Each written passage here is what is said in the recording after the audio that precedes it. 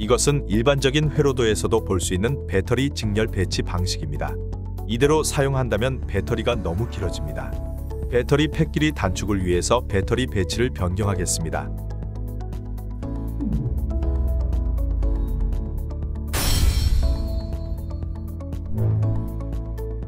이제 니켈 시트와 스폿 용접기를 사용해서 배터리를 직렬로 연결합니다. 배터리 길이가 아주 짧아졌습니다.